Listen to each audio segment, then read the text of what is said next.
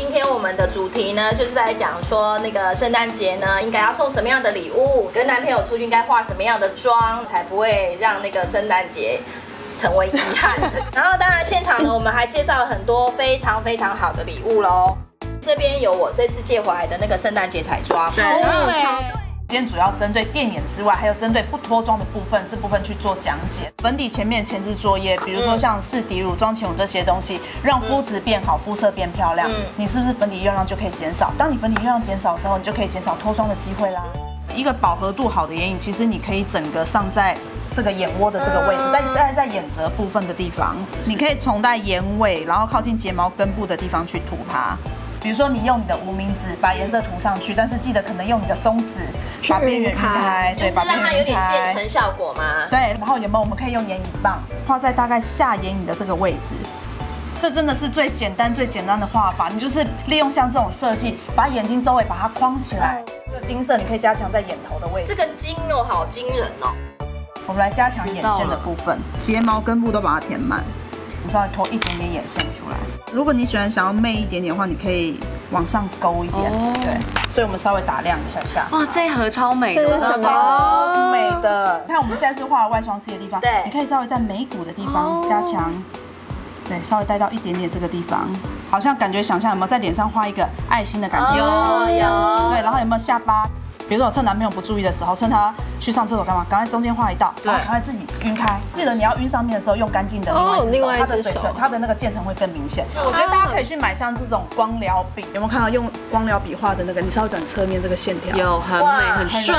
你上完口红之后，对不对？好来，你稍微用卫生纸稍微抿一下下，记得把它一分为二，隔一张卫生纸，嗯，稍微铺一点蜜粉。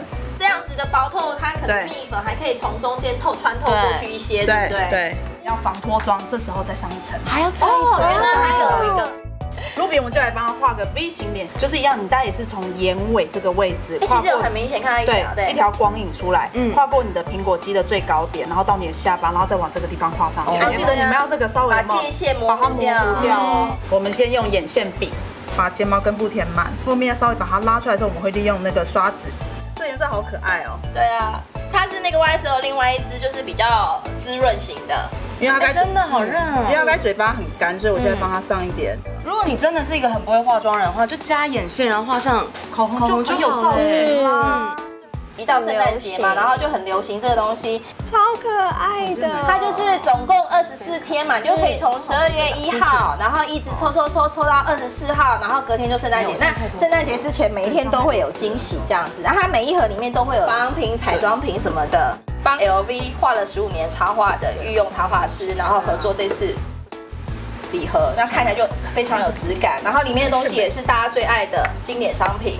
今年圣诞节很多以那个胡桃钳，嗯，就是彩妆啊，或者是保养品都有做胡桃钳的那个插画的设计。然后就胡桃钳就是也很应景圣诞节节庆。对，再就是这个护手霜礼盒，超可爱的。哦，好喜欢。因为发现其实圣诞节真的大家都喜欢跟插画家合作，还有这个跟 LINE 合作的吗？跟 LINE 合作的，之前那个日本已经上了，然后现在台湾也进来了。所以这是如意吗？对啊，这是如意。每次到圣诞节，他们都会特别有做这种，就是各式各样的插画，对，然后看起来就会很吸引人。它可以做礼盒包装，然后你看它的每个瓶身，像这是它的最经典的那个。